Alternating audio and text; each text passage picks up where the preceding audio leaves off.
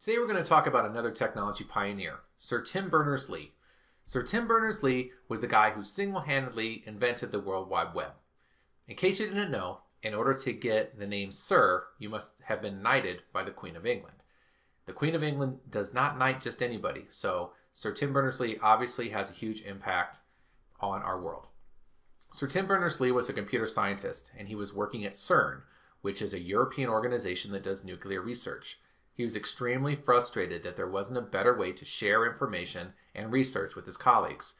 So he drafted a proposal, gave it to his boss, for what soon would become the World Wide Web. He spent time developing the technologies. He created the first web server on a home PC. He created HTML, HTTP, everything that was needed in order to create the World Wide Web so that all of us could create, share, and link information. I've got a great resource for you here. I want you to watch this video, Standing on the Shoulders of Giants. It explains Berners-Lee's odyssey and what was behind him creating the World Wide Web. And then I want you to watch a quick video about web standards. By now you're probably starting to realize that it's these uh, protocols, rules, common, universally adopted, accepted ways of doing things that make the internet and the World Wide Web so powerful. By everyone agreeing to follow the same conventions, we are able to do things universally. That's where the power lies.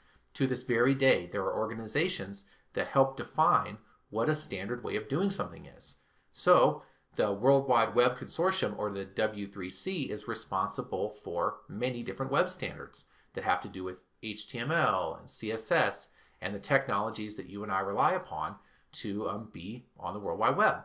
To this very day, Berners-Lee is involved in these and other organizations. On the Learn More slide, you will find there are four resources that I want you to explore to learn more about the World Wide Web and Berners-Lee.